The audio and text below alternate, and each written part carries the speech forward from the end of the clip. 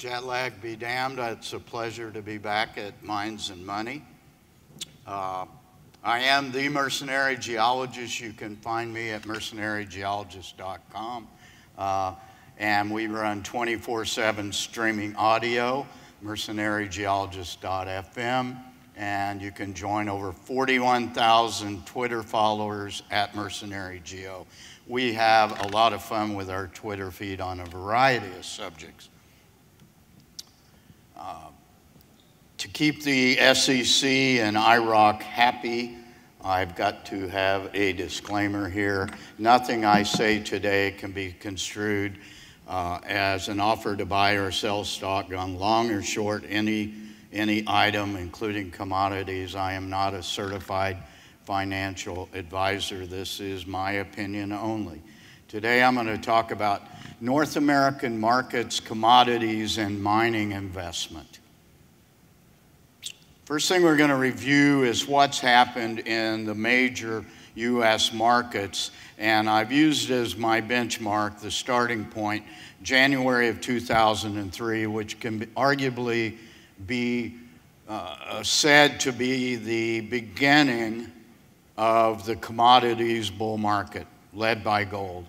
Uh, in early 2003, gold went over 300 bucks and stayed there for the first time in a long time. But you can see the way the Dow has gone up and up and up with a brief hiatus, and it was relatively brief for the global economic crisis that lasted what 15 or 18 months and and then the US stock market started to roll again uh, basically driven I think as a bubble by the Fed to replace the housing bubble uh, here's the 12-year S&P 500. Looks much the same. Uh, both those markets are, are, if they did not hit all-time highs within the last week, they certainly have, uh, or the last day they have in the last week or so. Uh, Nasdaq is over 5,000, the S&P 500 over 2,100, the Dow well above 18,000. And this uh, shows what happened and what the catalyst was, and that was uh, in, in, from uh, 2003 to 2006, the housing bubble, again created by the US Fed, uh, went first exponential, then went parabolic, and then the exponential collapse down to January of 2009 and the height of the global economic crisis. Uh, what, we, what I would encourage you to look at is, is the last year or so of that chart. And over the last six months, U.S. housing starts have once again exceeded a million units per month uh, for the first time since global financial crisis. And they look like they've somewhat stabilized in that range. Uh, and here's what happened with the dollar index, and that's been the story lately. Uh, uh, we hit what uh, a 12-year high on the dollar index last week when it went over 100. It's still corrected.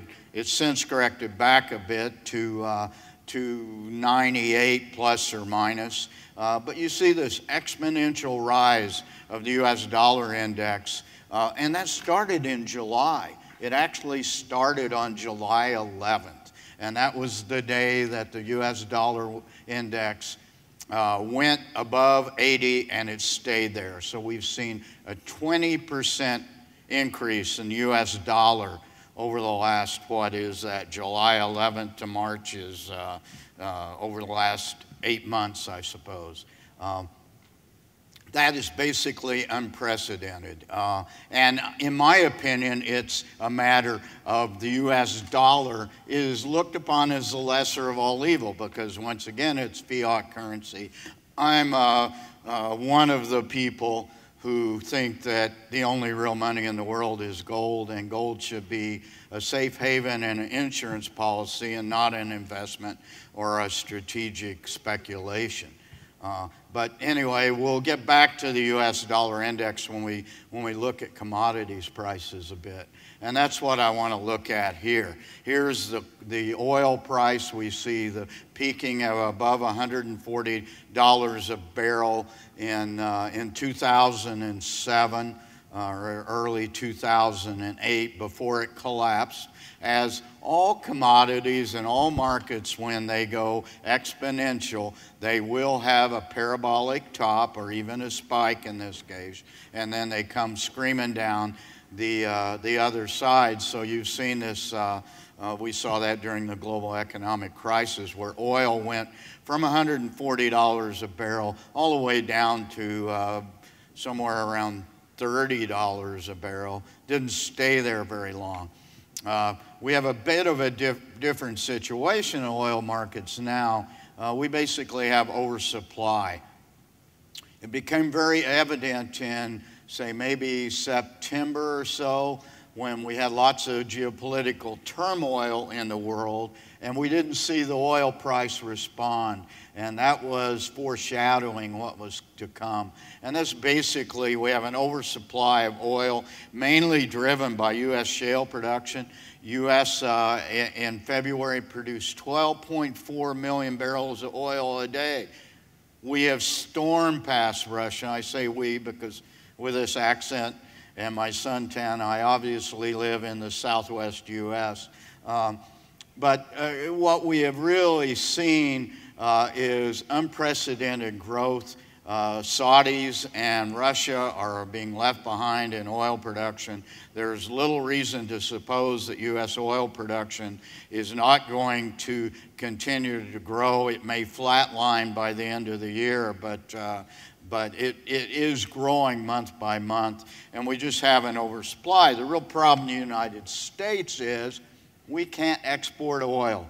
Uh, in 1975, during uh, toward the end of the first oil crisis, Nixon and well, one of the things Nixon did, including taking us off the gold standard and imposing price controls, uh, is he got passed through Congress a law that U.S. couldn't export oil. So we, we have been left with this uh, problem that we have a bunch of hungry heavy oil refineries on the Gulf Coast. We have a, an abundance of light, sweet crude coming from shale oil producers, and we don't have any place to refine it. Uh, last week, we hit an all time or 80 year high in oil storage. 80 years, well, that was the height of, of, the, of the Depression, what, 1935. 452 million barrels of U.S. oil in storage. We use 18, 19 million barrels a day. So we're looking at well over what is that? Uh, something on the order of 250 days of supply and storage. Um, and until the U.S. Uh, uh, knocks back the export law, Congress is uh, well on its way to doing that. We'll see if our socialistic President Obama will be willing to sign it.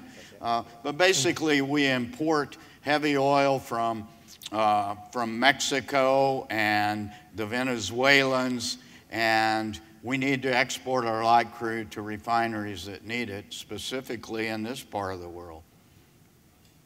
Here's the 12 month gold price. Now, this is the average monthly gold price, so it takes out some of the, uh, some of the perturbations in the curve. Uh, but we see the uh, parabolic top at uh, somewhere on a monthly basis around $1,800 a month.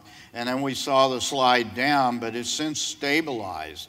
Uh, and the weakness in the gold price over the last since July 11th, really, when the dollar is, is, is in US dollars only. If you look at the gold price in most other currencies, uh, it has either gone up or at, at, worst it's been stable. In Canadian dollars, you're looking at $1,600 gold right now. Uh, but what we have seen is a flattening uh, of the gold price uh, over the last, what, uh, close to two years. It's become very range bound. Uh, my point would be if you can't make money at 11 or $1,200 gold, then you don't belong in the gold business. And, and, uh, and I, am a proponent of the idea there's lots of gold companies out there that underperform. We'll talk about that in a minute here. Um, here's the spot copper price. Um, and, you know, we hit $4 copper a couple of times. It stayed there for a while. Uh, it, it went down a bit. It stabilized in the upper $3 range. Uh, and then it took another downturn, but it stabilized basically in the 320 to 330 range for about six months. Uh, copper this morning, I think, is 277 a pound. Do the math. What's 330? That's a 60 cent drop in the price of copper over the last four or five months.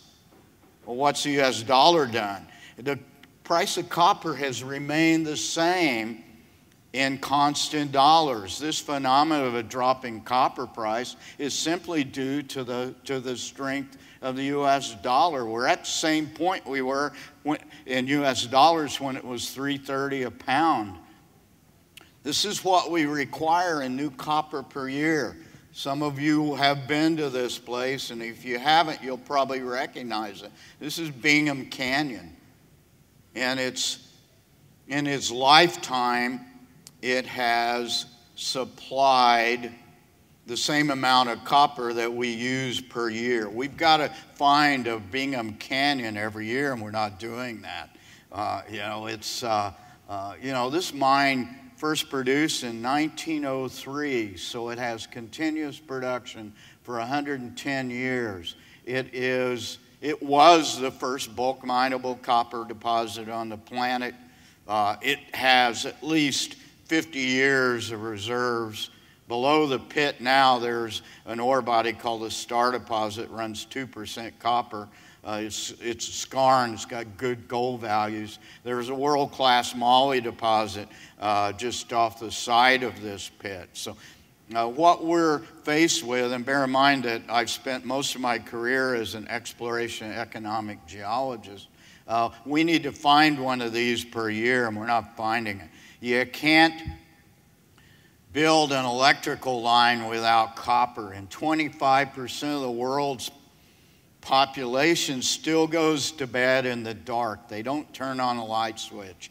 A significant portion of those are here in Eastern Asia, and it is being electrified very quickly. The other uh, region of the world that does, still doesn't have electricity is uh, sub Sahara Africa. That's going to be a while yet to develop. But here's the point I want to make about mar metals market fundamentals, and I remain, even though we are in a period of low commodity prices, I remain a secular uh, bull in commodities, especially in copper. We have the BRICS and their brethren, and, and notice I didn't say the BRICS because Russia doesn't count for a bunch of reasons. Number one is the demographics are worse, worse than Japan, no young people. But that's Brazil, India, Indonesia, and China. Those countries and smaller emerging market countries will continue to grow. Uh, this generates supply short, falls just with the general year over year growth from demand and population. Uh, we find that deposits are tougher to find, mines are tougher to develop because we have geopolitics and corrupt and unstable governments all over the world and resource nationalism and environmental NGO opposition, Aboriginal opposition worldwide. So, uh, what we used to say it took 10 years to build a mine, well, that's now increased. We're looking at, at time frames of, of 10 to, to 15 years, maybe even 20 years. We're not finding enough good deposits, we're not supplying uh, particularly in copper, enough new copper to the market. So, for these reasons, I still remain a secular bull in commodities. Uh, let's switch gears a bit and talk about where new, new deposits are found, and they're found by the juniors, uh, and specifically the world's greatest junior exchange. Uh, pardon my uh, disparagement of the Australian Stock Exchange, but uh, the Toronto Venture Exchange is where most venture capital for exploration and mining comes in the world. And again, we see the performance uh, basically tracking commodities uh, from 2003 till December of 2007, at which point a, an event happened called NovaGold uh, at, at uh, Galore Creek failed. Uh, and it took the it took the business down and it kind of foreshadowed the beginning of the global economic crisis in December of 2007. But you can make a case that the gold mining business led the world out of, or North America especially, out of the global economic crisis because it started getting better in January of 2009. We saw big financings. And once again, uh, it, we, we saw a peak in uh, the first quarter of 2011, and then it has gone exponential on the downtick again. Uh, this, this exchange is in a world of hurt. Uh, we thought we were at bottom a couple of times. It stabilized at 1,000, but now it's hovering near its all-time low uh, around uh, 650 or so, uh, and I'm not convinced it's not going below that. When you're evaluating junior resource companies, there's four things you need to look at. Share structure, you want a tight share structure. You want people that have been in the business, have been successful in this business before. You want technical guys at the top, either geologists or engineers. You want to make sure that they haven't bankrupted three companies because they're no longer, in my opinion, venture capitalists or entrepreneurs. And finally, you want a good project, something uh, that can, can be developed by that junior uh, and then we've added one over the course of the last few years as the markets. You need cash or hand or the ability to raise capital in one way, shape, or form without serious dilution. A variety of ways to do that. Um, but here's the problem in the Toronto Venture Exchange right now. We have 1,200 exploration and mining companies. Fully 50% have negative working capital. What's that mean? It means they're not paying their bills. They're not paying, they cannot uh, keep up with their short term bills. It's got nothing to do with long term debt because uh, uh, that is not part of uh, working capital. Uh, they, and at the present, they're failing to meet minimum listing requirements of the stock exchange. Uh, there's been extreme lack of delistings over the last three years. I think that's because the TMX Group, which is owns the Toronto Venture Exchange, a publicly listed company, and wants the three million dollars plus in annual revenues it generates from these, uh, from these juniors. I think it's conflict or interest. There's a group of analysts and newsletter writers are beating the drum with the idea of squeaky wheel uh, uh, will eventually get grease uh, and get some of these companies delisted. Until that happens, I don't think we can uh, expect uh, the, the markets to improve. Um, traditional sources for exploration mining, equity, bank debt, institutional funds, government subsidies. A lot of those have left the market. Now we're looking at non-traditional sources, strategic alliances, uh, private equity or sovereign funds, offtake contracts, uh, streamers, royalty streams, uh, things such as that. Um, so there's way, there are ways out of our dilemma right now. It has to do with non-traditional ways of funding. Uh, change gears a bit. What makes a good mine? Well, as we all know, the, uh, the mining industry operates in boom and bust commodity cycles. The timing of development and production is key. You basically want to go into production at a time of early, of low commodity prices and hit them on the uptick. Uh, you need low capital expenditures per unit of metal. And that's what's killed a lot of the miners uh, during this downtick is, is high capex. Projects are not going, uh, being built. And finally, you always want to be in the lowest operating quartile of cost curve because then you're insulated against the bust in, uh, uh in commodity prices, which we know occur. It's a boom and bust business. Recently, I've uh, done a study of, of seven large go major gold mining companies, but I want to show you the way they've underperformed in the greatest bull market for gold, gold we've ever, ever experienced. 11 years. From January of 03 to February of 2013, gold itself was up a whopping 260%. Uh, in the meantime, Barrick Gold lost 33% of its market cap.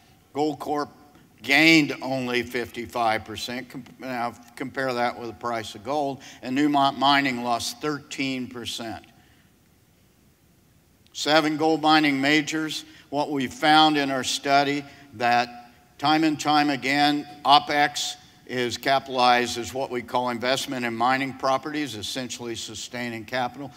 Uh, co companies have focused on growth of production and reserves Uh, they've gone into debt for failed acquisitions. They've declared dividends on debt they've raised, which I think is a bit unholy. Uh, then they've written down their assets. Uh, what we found is the cash flow has been significantly less than needed to fund corporate obligations. We've come up with a measure called the adequacy ratio, which is revenues of gold uh, uh, sold divided by OPEX plus IMP investment in mining properties plus debt repayment plus dividends. If a company is healthy, it has an adequacy ratio of greater than one. You look at these seven major miners, none over the period have had an adequacy ratio of over one. Only one of the 11 years when gold hit its all time high did the group have an adequacy ratio of over to one. This means these are failed companies. Major gold miners did not reward their shareholders. It's a flawed business model, in my opinion. They're unprofitable. Uh, they focused on growth of production, resources, and reserves. They, when they need to focus on margin, on high cost margin, be in the lowest quartile, they've ignored that. Mining is a value industry, not a growth industry, until the major gold mining companies focus on the quality of ounces produced at high margin versus the quantity of ounces produced, they will not be successful. Uh, when you're evaluating a company for mining investment, you need to do your due diligence. Uh, an old saying of mine high grade is wonderful. Every good geologist knows that uh, grade is king. Most junior mining companies exist solely to mine the stock market. You've got to be very careful there. Major gold miners have used equity and debt to pay their dividends. They have not been profitable over the last 11 years. Uh, as Mark Twain said in 1863, a mine is a hole in the ground with a liar standing beside it. That still holds. And the question then becomes with what I said here why would you speculate in such high risk stocks? Well, I'll give you exact reason. These are the top 10 gold companies in 2013.